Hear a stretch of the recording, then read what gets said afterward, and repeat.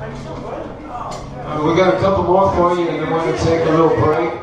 You want to sing one, girl? All right.